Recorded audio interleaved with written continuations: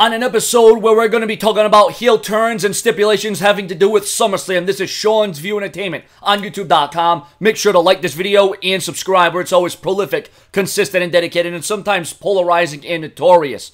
SummerSlam is going to be a huge spectacle, and the main event is set to close the show of Brock Lesnar versus The Undertaker. Fans want to see a clean finish in some way or another, or even interference that leads to the finish, but with no long-term effects. Having a retirement stipulation means adding on something that will be rendered pointless in less than two months. Yes, because there is talk of a stipulation being added to the match. I don't think you need to do that on the. I don't think it needs to be spiced up anymore. I mean, it is the biggest rematch that WrestleMania couldn't handle, and that's why it's going to be at SummerSlam. It's going to be a huge match of epic proportions. Now, I don't know. Maybe SummerSlam won't be able to contain Brock Lesnar and The Undertaker, although they did have a normal match at WrestleMania. But these two, every time they've gone at it, it's always been The Undertaker on the losing end. Is The Undertaker finally going to come back with retribution? What kind of Undertaker can we expect? Is it going to be the Dead Man? Is it going to be the Biker? Is it going to be the Red Devil, Big Evil? What kind of Undertaker can we expect at SummerSlam? And should there be a stipulation, if it were me booking things, maybe it should be a Hell in a Cell. But I don't know if uh, the retirement thing would really fit Lesnar or The Undertaker because The Undertaker is being booked for future WWE events even well into SummerSlam.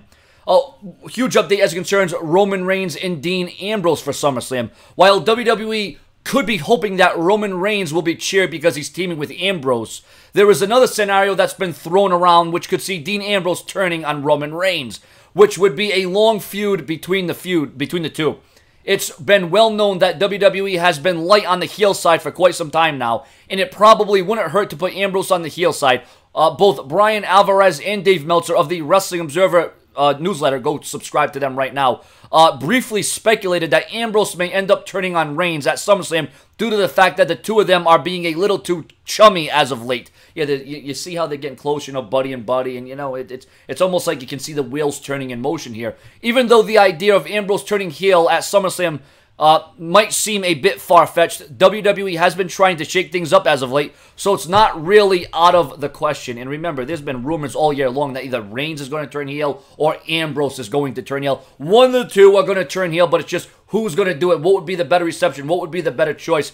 Obviously, Roman Reigns um, you know, he's very capable. He's definitely improved his performance, his stamina, his mic skills. He's definitely getting better uh, in tuned with the crowd and you know how to respond and how to react and his mannerisms. But obviously, Ambrose at this point would fit probably. You know, he could he would fit good in the Wyatt family. He really would. Ambrose would be a good fit for the Wyatt family if he were to turn heel. But that's only if. And we all know in the WWE ifs can be a part of the game for a long-term plan. So, ladies and gentlemen, your comments and your opinions. Should there be a stipulation to the Undertaker versus Brock Lesnar, and what kind of heel turn can we expect? Will it be Roman Reigns or Dean Ambrose?